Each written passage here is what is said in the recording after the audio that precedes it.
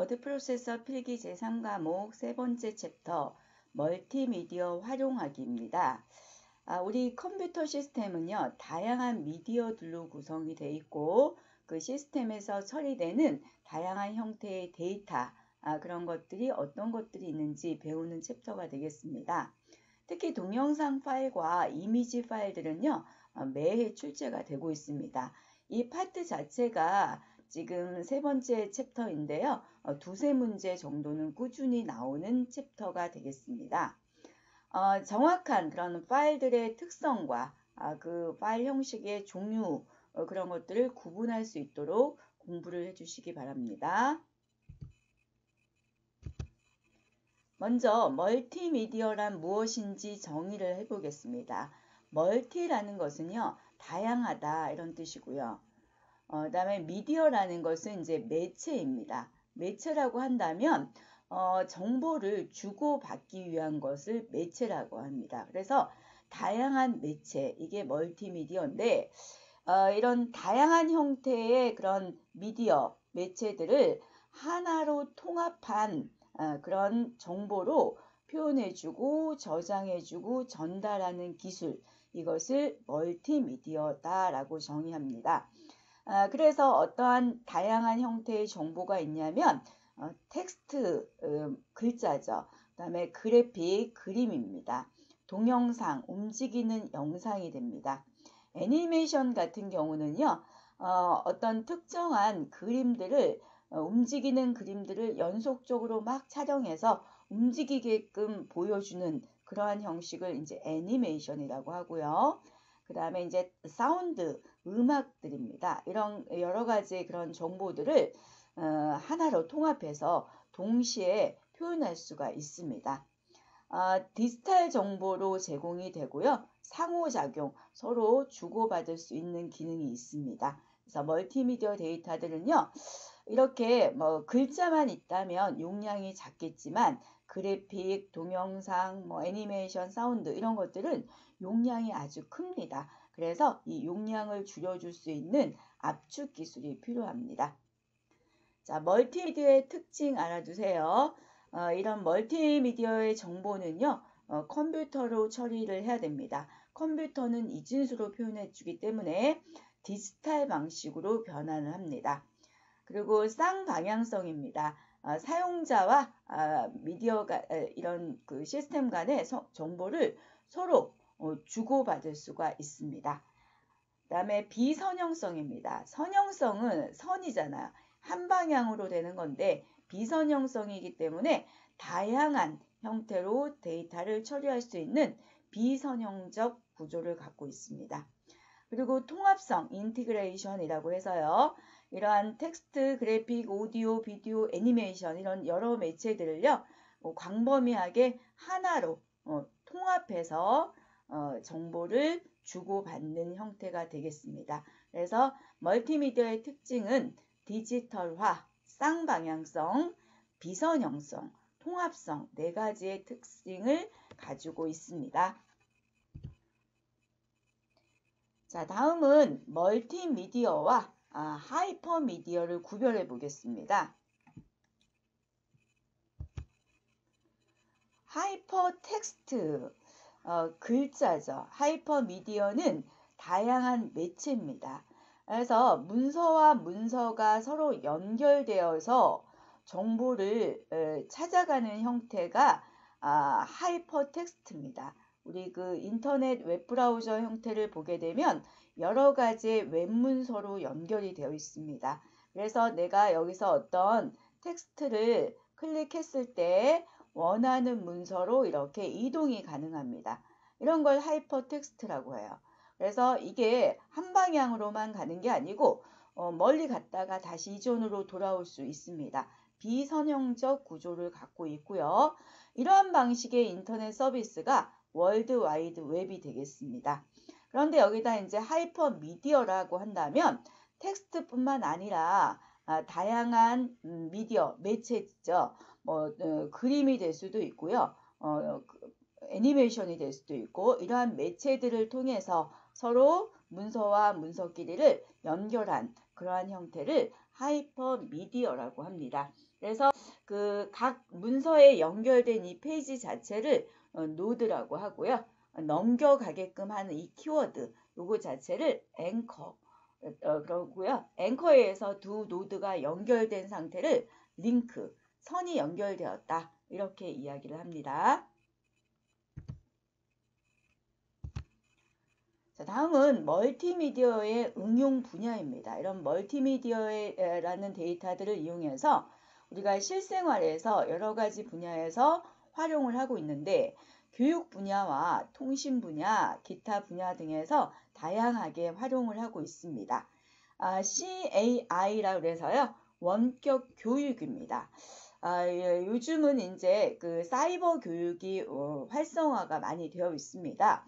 어, 학습 능력에 따라서 학습의 어떤 내용을 통신망을 통해서 어, 멀리 떨어져 있는 어, 사용자에게 교육하는 시스템 CAI라고 하고요. 그다음에 CBT라는 것은 컴퓨터 기반의 교육입니다. 그래서 컴퓨터를 이용해서 교육하고 훈련 어, 훈련해주는 그런 어, 것들을 통틀어서 그냥 CBT 기반 어, 컴퓨터 베이스 테스트입니다. 컴퓨터 기반의 테스트를 CBT 이렇게 이야기합니다. 그래서 우리가 시험 보기 전에는 여러분들이 시험장에 가기 전에 실제 시험하고 어, 비슷하게 예, 만들어져 있는 CBT 기반의 문제를 많이 풀고 가면 아주 효과적인 어, 정, 어, 공부가 될 수가 있습니다. 그 다음에 이제 통신 분야인데요. VOD, 비디오 어, 주문형 비디오 서비스입니다. 어, 여러분들이 이제 내가 어떤 특정 드라마를 보고 싶은데 그 시간에 집에 없었을 경우에 나중에 검색을 해서 볼 수 있는 어, 그런 그 서비스 자체를 VOD 서비스라고 합니다. 그 다음에 VCS는요, 화상회의 시스템입니다. 원격으로 멀리 떨어져 있는 어, 두 시스템을 모니터 화면을 통해서 회의를 진행하는 시스템 VCS. 그 다음에 VDT 같은 경우는 화상 전화 아, 아, 서비스입니다. 아, 이거는 이제 기존의 전화선을 이용해서 어, 영상, 얼굴을 보면서 전화해주는 서비스입니다. 그다음에 PACS는요, 음, 원격 의료 시스템이에요. 그래서 뭐 X선, CT, MRI 이런 영상 자료를 전송을 해서 어, 어떤 그 원격 진료가 가능하게끔 할 수 있는 그런 시스템입니다. CCTV는 어떤 특정 수신자를 대상으로 해서 화상 정, 어, 화상을 전송하는 그런 목적으로 만들어주고요. 요즘은 가정에서도 많이 CCTV를 설치하고 있습니다. HDTV는 고화질 TV입니다. 어, 그 다음에 텔레텍스트라는 것은요. 우리가 TV에 밑에 보게 되면은 어, 오늘의 날씨가 쭉 흘러가고 있죠. 내일 날씨, 오늘 날씨, 그런 다음에 뭐 교통 안내, 어디가 지금 복잡하다든지 그런 것들을 텍스트로 전송을 해줍니다. 이런 걸 텔레텍스트라고 합니다. 비디오 텍스트는요, 이거는 이전에 사용했던 방식인데 교육이나 학습, 뉴스 이런 자료들을 데이터베이스 모아두었다는 뜻이에요. 그래서 나중에 검색해서 어, 사용할 수 있는 서비스인데요. 어, 이제 초창기에 우리가 PC통신이라는 걸 하고 나서요. 거기서 이제 그 안에 데이터베이스로 정보를 저장을 해 둔 다음에 어, 검색해주고 항공 예약해주고 날씨 서비스 받아보고 이러한 서비스 자체를 비디오텍스라고 합니다.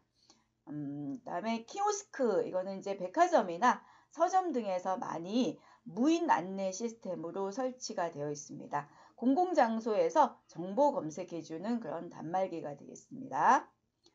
아, 이렇게 해서 뭐, 뭐 하이퍼미디어를 응용해서 어, 디지털 백과사전, 그다음에 뭐 가상박물관 이런 것들에 사용하고 있고요.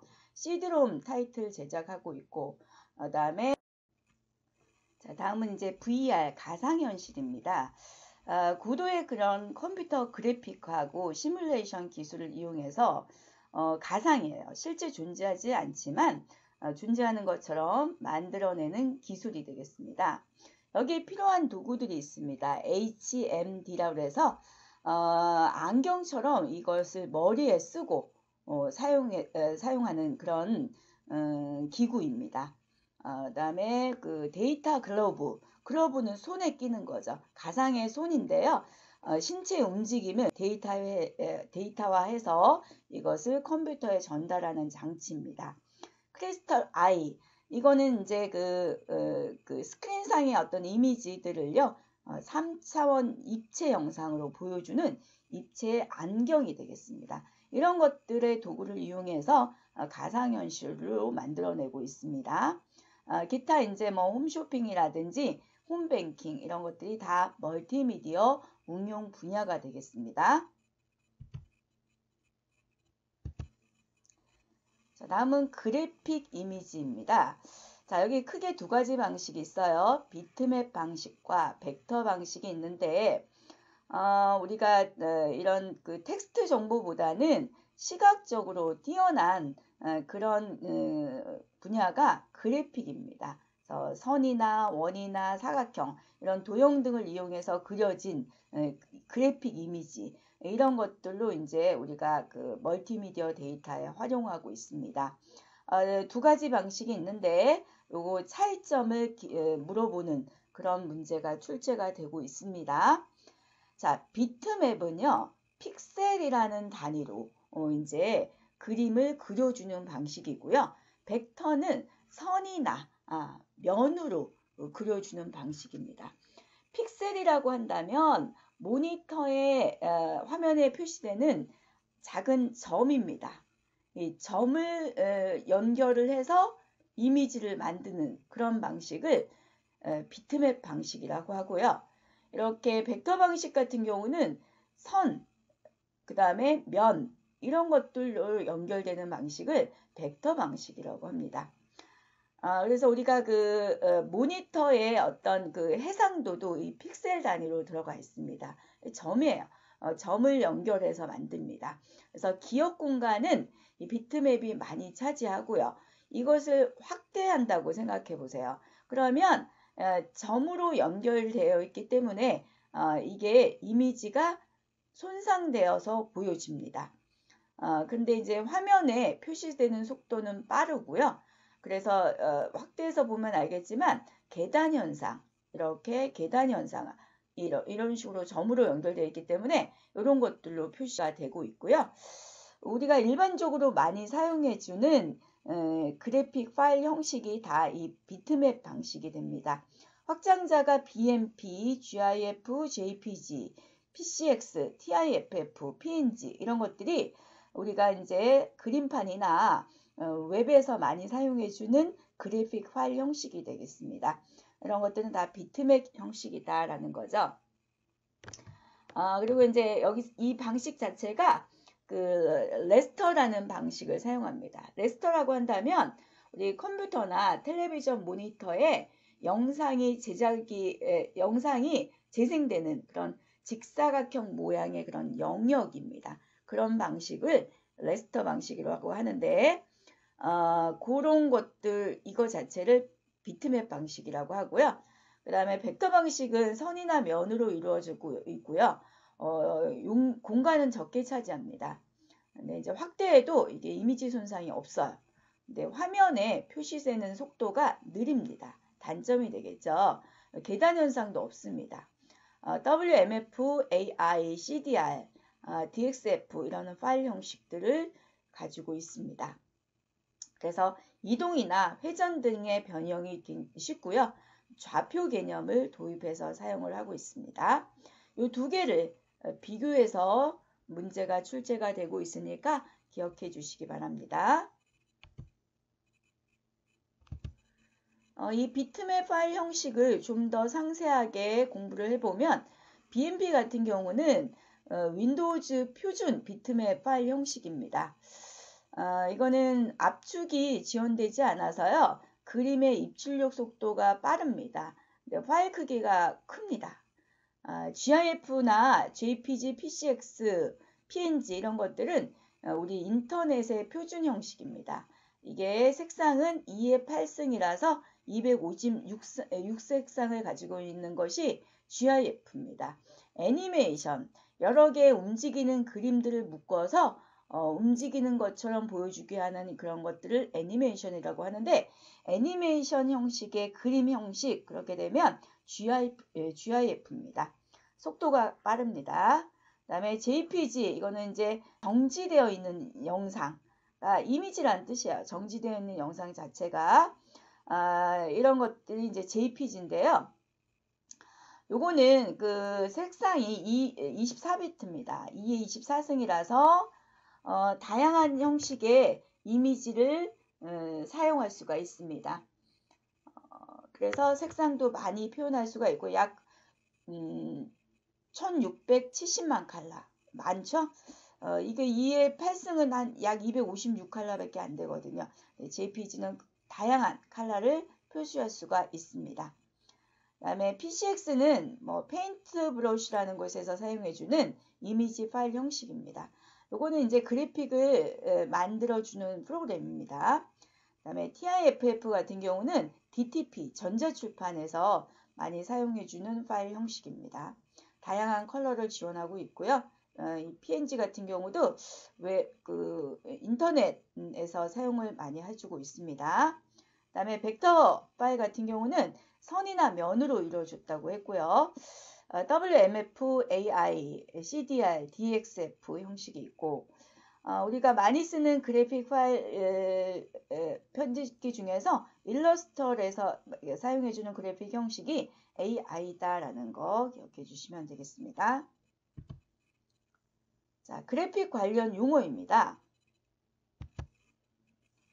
자, 이거는 우리 1과목 워드 프로세싱 어, 용어 및 기능에 보시면 전자출판에서 나왔던 용어들입니다.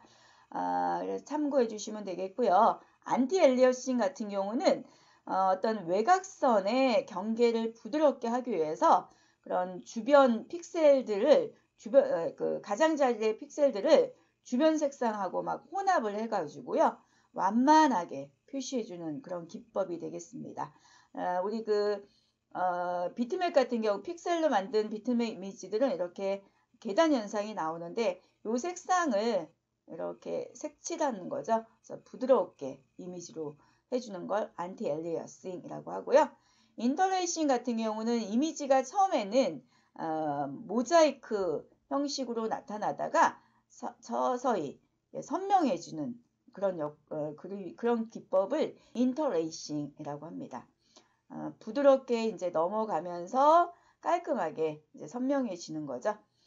메조딘트는요, 이미지가 무수히 많은 점을 찍듯이 에, 그런 효과로 부드러운 명암을 다양하게 표현하는 방법이 되겠습니다. 아, 이제 이미지를 막 이제 점을 찍어서요, 어, 이걸 많이 찍게 되면 에, 이게 부드럽게 에, 구별이 되는 거죠. 그 다음에 솔러리제이션이라는 것은요. 사진의 현상 과정 중에 빛을 쪼여주면 색채가 반전되는 효과. 어, 처음에는 이제 이미지가 나왔다가 이것을 반전시킵니다. 만약에 이제 거, 어, 하얀 바탕에 어, 검은색 이미지가 있었다면 역상으로 바, 보여주는 거죠. 어, 이제 검은 바탕에 어, 하얀색 이미지로 표시해 준다든지 이렇게 해서 반전의 효과를 주는 어, 그런 것들을 이제 solarization이라고 합니다. 그 다음에 dithering이라는 것은요. 어, 인접하는 색상이나 흑백의 점을 조합해서 중간 색조로 만들어서 부드럽게 해주는 효과가 되겠습니다. 자, 다음은 동영상입니다. 이 동영상을 구성하는 이미지를요, 프레임이라고 합니다. 이 비디오를 재생하는 화면의 크기와 아, 초당 프레임 수에 따라서 비디오 파일의 크기가 결정이 납니다. 자, 어, 데이터 양이 엄청 큽니다. 그래서 저장하고 전송을 하기 위해서는 압축 기술이 꼭 필요합니다. 어, 비디오 파일의 크기를 보면 하, 화면의 해상도 곱하기 어, 픽셀당 비트 수 곱하기 초당 프레임 수가 나옵니다. 어, 이것들을 어, 그 계산하는 문제도 출제가 된 적이 있는데요. 만약에 화면의 해상도가 1024에 어, 768이다 라고 했을 때는 어, 가로 픽셀 곱하기 에, 가로 해상도 에, 세로 해상도가 되고요. 픽셀당 어, 비트 수 16비트다 어, 라고 했을 때는 16구를 곱해주면 됩니다. 거기에 이제 초당 프레임 수인데요. 어, 우리가 초당 그 하나면의 분량이 에, 이제 그 프레임의 수로 나눠주는데 초당 약 30프레임까지 표현할 수가 있습니다. 어, 그래서 만약에 이제 초당 24프레임이다. 그럼 곱하기 24 이런 식으로 해주게 되면 어, 비디오 파일의 크기를 구할 수가 있습니다. 아, 그리고 이제 이런 동영상 파일 형식이요. MPG를 많이 쓰고 있고요. 그 다음에 AVI, DVI, 그 다음에 DIVX, ASF, MOV 이렇게 있습니다. 어, 여기서 이제 JPG하고 한번 구별을 해줘야 되는데요. JPG는 정지된 이미지, 정지 이미지 파일 형식이 되겠습니다. 그러니까 그냥 일반 이미지 파일 형식은요, JPG고, 어, 이제 움직이는 동영상 파일 형식은 MPG다. 이렇게 구별해서 공부를 해주시기 바랍니다. 이런 그 MPG 같은 경우는 국제 표준 규격의 동영상 파일 재생 형식이 되겠습니다. 이게 이제 발전이 돼서 처음에는 MPG1, MPG2 하다가 이게 음, MPG4로 되고요. 그 다음에 7, 그 다음에 현재 이제 21까지 예, 버전이 높아지고 있고요. 규격이 높아지는 겁니다. 규격이 높아졌다는 얘기는 그만큼 기술이 많이 발전이 되고 있다라는 뜻이에요. 그래서 이것도 마찬가지로 파일 형식이 되겠습니다. 어, 이거 ASF 같은 경우는 이제 마이크로소프트사의 스트리밍 파일 형식이 되겠고요. 어, AVI도 많이 쓰죠. 이것도 마이크로소프트사의 동영상 파일 형식입니다. 그리고 MOV, 애플사의 맥킨토스용으로 만든 동영상 파일 형식이 되겠습니다. 아, 이 동영상 관련 용어입니다. 아, 스트리밍이라고 하죠. 그러니까 우리 대용량의 비디오나 오디오 데이터를 전체 다운받지 않고 곧바로 즉시 즉시 연속적으로 재생하는 기술 자체를 스트리밍이라고 합니다. 크로마키는요. 어, 움직이는 피사체 그런 물체들에 대해서 어, 인물들과 합성할 때 사용하는 기술이겠습니다. 어, watermarking 이거는 오디오나 비디오 이미지 등의 그 디지털 콘텐츠에서요 사람이 육안으로는 쉽게 구별할 수 없도록 어, 저작권을 삽입하는 기술입니다. 어, 이런 그 텍스트 용지 뒤에 보면은 회사 로고 같은 거 흐리게 표시해 놓고요. 어, 이제 불법으로 복제하지 못하도록 하는 그런 기술을 워터마킹이라고 합니다. 다음은 애니메이션입니다. 애니메이션이라는 것은요. 어, 떤 생명이 없는 물체에 생명을 불어 넣어, 주는 기능을 해줍니다. 어, 떤 이미지를 연속적으로 보여주어서 이것들을 찍어서 데이터화하는 음, 것들을 이제 애니메이션이라고 합니다. 아, 연속적인 움직이는 동작들을 찍어요. 아, 그래서 꼭 어, 연속적으로 막 찍어주게 되면 움직이는 것처럼 보여줍니다. 아, 그런 것들을 애니메이션이라고 해서 어, 형식이 우리 GIF가 이미지지만 이것도 어, 그 움직이는 영상처럼 보일 수 있는 애니메이션 파일 형식의 사용을 하고 있고요. ANI, MMM, FLI, 어, PICX, FLX, DIR, 아, 그다음에 이제 DCR, 3ds 아, 이런 것들이 다 그 애니메이션 관련 파일 형식이 되겠습니다. 애니메이션 관련 용어입니다. 모델링, 어, 떤 3차원적인 그 물체를 만드는 작업을 모델링이라고 하죠. 그 다음에 이제 렌더링이다 라고 한다면, 어, 렌더링은 이제 3차원 그래픽 화면에서 그려지는 어떤 면의 색깔이나 어, 음영 효과를 넣어서요. 어떤 사실적인 어떤 감각으로 보여주는 것들을 렌더링 했다라고 합니다. 어, 모핑은 이미지가 서서히 바뀌는 거죠. 어, 사자가 뭐 공주로 바뀐다든지 이런 식으로 이미지가 싹 서서히 변해주는 그런 기법을 모핑이라고 합니다. 와핑은 어떤 이미지를 유사한 형태로 변형하는 겁니다. 그래서 이미지에 왜곡을 주는 그런 음, 곳에 사용해주는 기법이 되겠고요. 필터링은 어, 이미지의 필터, 필터는 걸러내주는 겁니다. 어, 특정 색을 걸러내서 새로운 이미지로 바꾸어주는 어, 그런 기법입니다. 리터칭은 그 이미지에 이제 다양한 특수 효과를 주는 기법이 되겠습니다. 어, 다음에 이제 뭐 포깅이라고 있습니다. 먼 거리를 어색하지 않게 안개 효과처럼 흐리게 이렇게 보여주는 기법을 포깅이다라고 하고요. 어, 로토스코핑이 있습니다. 촬영한 영상, 영상을 애니메이션 keyframe으로 바꿔서 그 위에 덧붙여 그리는 그런 기법이 되겠습니다. 그 다음에 clay, claymation 있습니다. 점토나 어, 이제 찰흙 이런 것들을 예, 소재로 해서요 인형을 만들고 어, 그래서 점성을 이용해서 예, 조금씩 변형한 형태로 어, 만들어서 촬영하는 애니메이션 기법입니다. 만화 영화에 많이 나오는 기법이 되겠습니다. 자, 다음은 사운드 데이터 형식입니다. 어, 음악이나 음성 등의 이런 아날로그형 데이터를 이용해서 어, 뭐, 그 사운드형 파일 형식을 만들어낼 수가 있습니다. 어, 그런 파일 형식에 WAVE 있고요. 그 다음에 MIDI 있습니다. WMA도 있고요. MP3, MP4 이렇게 등이 있는데요. 현재는 이제 MP4 형식을 많이 쓰고 있습니다. 이거는 이제 MPG에서 규정한 MPG2 압축 기술에서 파생되어진 파일 형식이 되겠고요. MP3보다는 음질이 우수하고 압축률이 높습니다. 아, 그런데 이제 단점은 호환성이 부족하다라는 거고요. 제가 지금 이렇게 촬영하는 어, 이 동영상 파일 형식 자체도 MP4로 촬영하고 있습니다. 아, 그리고 이제 이 WAVE 하고요. 웨이브 형식이라고 하고 MIDI, MIDI 형식이라고 하는데 이 두 개를 구별해 주는 그런 문제가 출제가 되고 있습니다. 웨이브 같은 경우는 재생 장치와 관계없이 같은 소리를 내고요. MIDI는 재생 장치의 종류에 따라서 음의 품질이 결정이 되고 있습니다.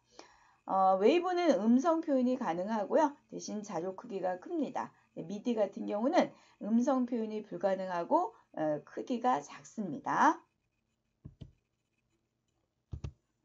사운드 관련 용어인데요. 아, 사운드는 음성이나 음악과 같은 데이터들입니다. 그런 데이터들은요, 아날로그형, 연속적인 데이터 형태가 됩니다. 그런데 우리가 이런 어, 컴퓨터와 같은 어, 시스템에서 처리하려면 디지털 신호로 이렇게 변경을 해줘야 됩니다. 그 사이에 이런 역할을 해주는 걸 코덱이라는 장치가 해주고 있고요. 어, 이 코덱에서 아날로그형 신호를 디지털 신호로 변경할 수 있게 해줍니다. 거기에 필요한 아, 그런 용어가 샘플링과 그다음에 양자화 과정을 거쳐서 부호화한다라는 요 순서를 기억해 주시면 되겠고 요거는 다음 장에 나오는 정보통신 분야에서 좀 더 자세하게 설명드리도록 하고요. 어, 샘플링은 어떤, 어떤 그런 아날로그형 파형을 디지털로 만들기 위해서 일정 간격으로 추출하는 과정 이걸 샘플링이라고 합니다. 어, 그 다음에 이제 PCM이라는 것은 그렇게 샘플링된 데이터를 가지고 어, 양자화 과정을 거쳐서 어, PC 디지털 부호로 바꿔주는 걸 PCM 과정이라고 합니다. 양자화라는 것 자체는요, 그 입력되어져 이 샘플링 데이터를 가지고 어, 양자화 비트라는 걸 이용해서 어, 이제 디지털화 시켜줄 수 있는 과정이 되겠습니다. 자, 다음은 이제 멀티미디어 시스템입니다. 아, 우리가 멀티미디어 데이터들을 처리하기 위해서는 멀티미디어를 처리할 수 있는 그런 하드웨어와 어, 소프트웨어가 필요합니다. 아, 그 중에 멀티미디어 하드웨어입니다. 멀티미디어 PC는요, 이런 그 고성능의 CPU와 고해상도의 그래픽 카드, 사운드 카드, 스피커, CD롬 드라이브 이런 것들이 필요합니다. 입력 장치로는요. 뭐 키보드, 마우스, 스캐너, 디지털 카메라, 화상 카메라 이런 것들이 필요하고요. 출력 장치의 모니터, 프린터, 사운드 카드, 저장 장치, 하드디스크, CD롬, DVD 이런 게 필요하고요. 그다음에 처리 장치하기 위해서 고성능의 CPU와 어, 그다음에 이제 어, DSP, 데이터 압축 장치 이런 것들이 필요하고 영상을 처리하기 위해서 TV 수신 카드, 어, 비디오 overlay, 어, overlay 보드, 프레임 그레이 보드, grabber 보드, 그 다음에 멀티미디어 통합 보드 등이 필요합니다. 자, 다음은 이제 멀티미디어 소프트웨어입니다. 어, 멀티미디어 시스템에는 하드웨어와 소프트웨어가 같이 들어가 있어야 되겠고요. 그래서 이런 것 하드웨어가 준비된 상태에서 예, 소프트웨어를 이용해서 멀티미디어 데이터로 제, 제작을 할 수가 있겠습니다. 그래서 그 기획 단계에서는 분석하고 디자인한 다음에 아, 시나리오를 작성을 해주고 콘텐츠를 생성해주고 그다음에 멀티미디어를 만든 다음에 테스트해서 생산해주고 분배합니다. 그래서 이런 각종 미디어 어, 제작 프로그램들이 있는데요.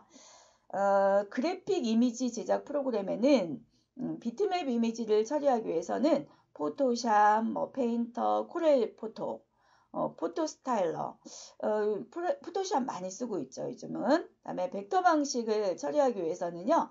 이 벡터는 선과 면으로 이루어졌다고 했습니다. 그래서 Illustrator, CorelDRAW, 3D Studio Max 어, 이런 것들이 마, 아, 많이 제작을 하고 있고 2D 어, 그래픽 같은 경우는 Photoshop, 3D 그래픽 같은 경우는 3D Studio Max 많이 쓰고 있습니다. 뭐 동영상 제작 프로그램에는 Premiere, 어, Video for Window, 음, VideoStudio 이런 것들이 있습니다. 어, 애니메이션 제작 프로그램에는 어, 2차원에서는 Animator Pro 쓰고 있고요. 어, 3차원에서는 3D Studio Max 많이 씁니다. 그 다음에 웹 애니메이션 프로는 어, 뭐 배너 광고나 웹페이지에서 강조하고 싶은 부분 이런 데 많이 쓰는 웹 애니메이션인데 어, 플래시 이런 거 많이 쓰고 있죠. 그 다음에 사운드 제작 프로그램입니다. 아, 사보용일 경우는 악보나 음악 이런 거 쓸 때는 Finale 많이 쓰고 있고요. 그 다음에 연주용에는 어, Cakewalk 어, Professional 있습니다. 어, 그 다음에 뭐 사운드 편집 프로그램에는 어, Sound Forge라는 프로그램 이런 것들이 다 사운드 제작 관련 프로그램이겠고요. 그 다음에 웹페이지 만들 때는 FrontPage, Dreamweaver, 뭐 나모 웹 에디터, 뭐 메모장으로도 웹, 웹, 음, 웹페이지 같은 것들은 제작할 수가 있습니다. 그 다음에 이제 멀티미디어 콘텐츠 제작 프로그램입니다. 어, Director, ToolBook, Authorware, HyperCard 등이 있습니다. 그리고 이것들을 재생해주는 멀티미디어 재생 도구가 있습니다.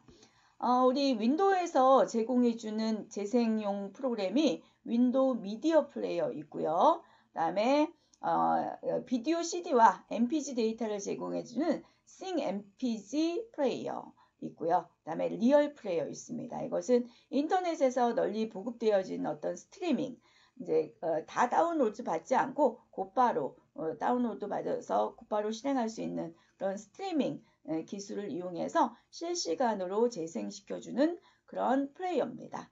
이런 것들이 이제 재생 도구가 되겠습니다. 자, 이것으로 이제 3장 멀티미디어 활용하기 강의를 마치도록 하겠습니다. 수고하셨습니다.